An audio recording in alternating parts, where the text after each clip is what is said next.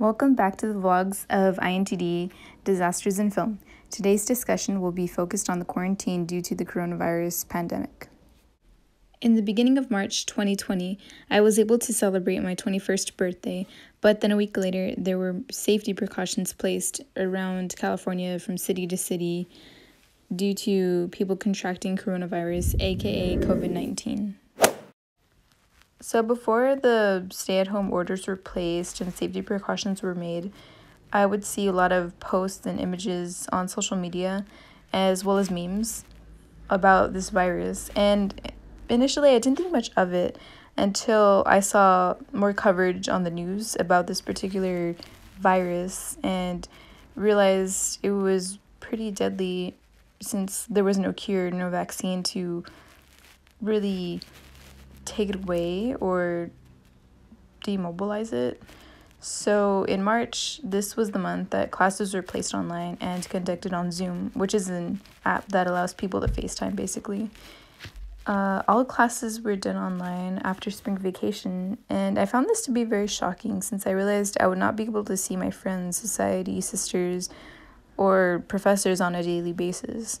And I became mixed with emotions of a lot of confusion, sadness, concern, and also nervousness. The news coverage was all focused on one thing and one thing only, which was the coronavirus. During this time, I realized how deadly the virus was. The greatest challenge of sheltering in place would probably be, as I've mentioned before, the arguments that occur within the household over mediocre things such as borrowing chargers, rubber bands, shampoo or conditioner, clothes, or eating somebody else's food without asking. My greatest concern would be someone that I know in my family or friends that contract the virus and dying from it since there's no cure or treatment from it.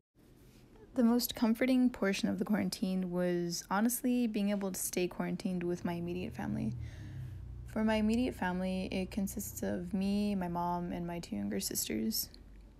We all took safety precautions such as wearing face masks, gloves, carrying hand sanitizer with us constantly, whether it be in our pockets, purse, or in the car. My shelter in place experience has been very eventful. Currently, I am sheltering slash quarantining with my immediate family members, which includes my mom, my two younger sisters, and me. Hi, I'm Pablo. My name's Tyrone. I'm Uniqua. I'm Tasha. My name's Austin. And we're your backyard friends, the backyard. Despite all this, the best moments of happiness would also be with my family, whether it be doing dance parties or baking together, cooking together, or just watching movies on Netflix or Disney Plus and just having a good time spending quality time with each other and also playing board games and card games. The whole experience was very different than what I had anticipated. In late May 2020, there were multiple protests to spread awareness on police brutality and racism. The movement was called Black Lives Matter.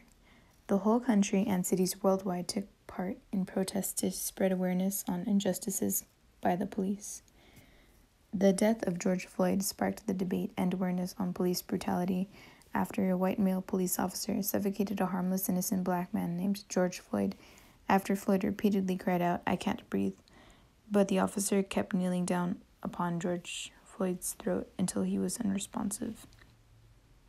One big takeaway from all this is the memory of always seeing face masks everywhere on people and people wearing gloves and just the the big impact that the virus had on the whole world.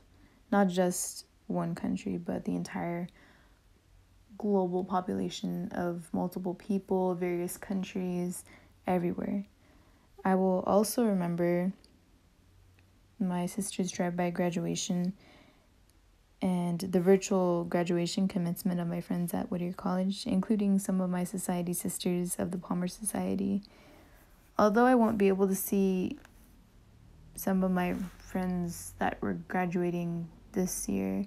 Hopefully, I will be able to continue to see my friends in the upcoming semester.